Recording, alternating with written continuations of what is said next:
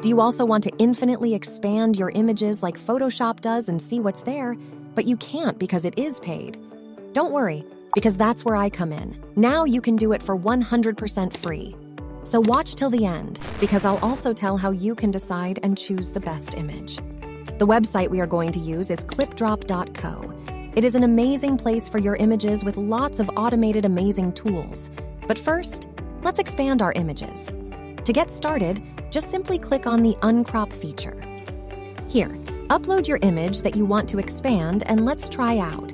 Honestly, I really wanted to expand this image.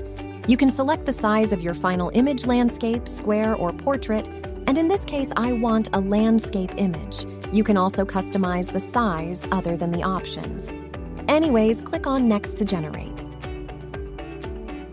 Wow, so it has provided me with different results which I can choose from. I like this one. Let's try this with another image. So I have this image of a beautiful, smiling woman. Let's adjust it a little bit to get more expansion, and let's see how it goes. Amazing! You can see the mind blowing results.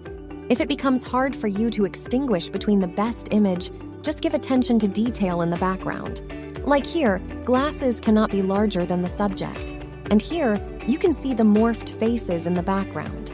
So, let's go with this one as it looks better and more realistic than others, and you can download the image from here.